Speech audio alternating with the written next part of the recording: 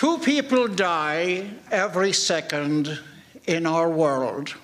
That's 120 every one minute. In the five minutes allotted me here on the Read 650 stage, 600 people will have died. I didn't do it. Yeah. I'm 88 years old and I am in what the Irish call the departure lounge. And when I awake in the morning, and indeed at any time, and perceive a ceiling in my purview, I breathe a thankful sigh and lounge for as long as necessary, and then I arise, grateful to be alive. However, if there is a coffin lid within six inches of my nose, it will probably occur to me there's no point in attempting to get up and pretending to be alive. So, what is gratitude all about? First, I am grateful that my parents did what is sometimes referred to as it. If my parents didn't do it, I wouldn't be here today. Second, most of us begin life when some stranger gives us a whack on the arse to jumpstart our breathing. A person living to 80 will take 673 million breaths, up from the uh, 960 breaths he or she will take in the average hour. I am grateful for the first breath of life. Third, I am grateful that strange fate placed me in Brooklyn, New York, on the date of my birth, the 20th of September 1931. Instead of the transatlantic crossing to Ireland, where our family was bedeviled by disease, despair, and child death, in Ireland we were poverty stricken. Now, poverty is a disease that motivates people like me to be resourceful, cunning, devious in the survival game of life. Some of us acted like tough guys, as did my brother Frank.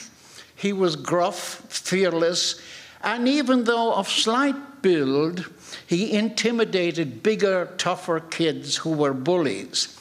I opted for the smiling charmer route, as I had that rare physical quality among the Irish of having all my teeth shiny and white. The women liked my bright, shining face, my respectful attitude, not knowing that behind this charming bio was me figuring out what I could gain from the encounter pennies, sweets, cakes. So I'm grateful I learned to survive. Mostly, though, I am filled with gratitude for finding love with my beloved Diana. Gratitude seems such a mild word in our lexicon of our romance. In the maleness of Irish history, expressing love could be considered sissy-ish, not to mention weak, except when referring to a sports team or where to get the best pint of Guinness stout. Irishmen never express love for their spouses or for whatever blessings she brings to their lives. Neither do they ever refer to their wives by name. They say, She is always late with my tea. She never does my shirts right. She's always complaining about me having a pint. But I am eternally grateful to Diana. I'm also grateful for the companionship of my three brothers, Frank, Mike, and Alfie, and the affection, the peace, the love we found in each other before they died. I am blessed with four grown offspring Siobhan, Malachy, Conor, and Cormac, all who give my heart a warm embrace when I think of them.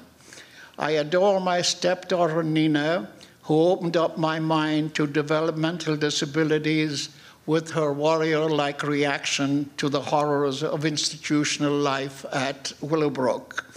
I delight at being a grandfather to nine human beings, each of whom warms my heart.